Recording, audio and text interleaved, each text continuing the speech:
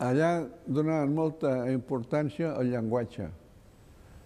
Nosaltres havíem d'aprendre a llegir i a escriure bé, tant en català com en castellà.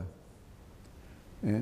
Però no com un papagaio, sinó bé, en veu alta, i els, tots, eh, nens i nenes, eh, quan et tocava a tu, havies de fer el comentari en veu alta.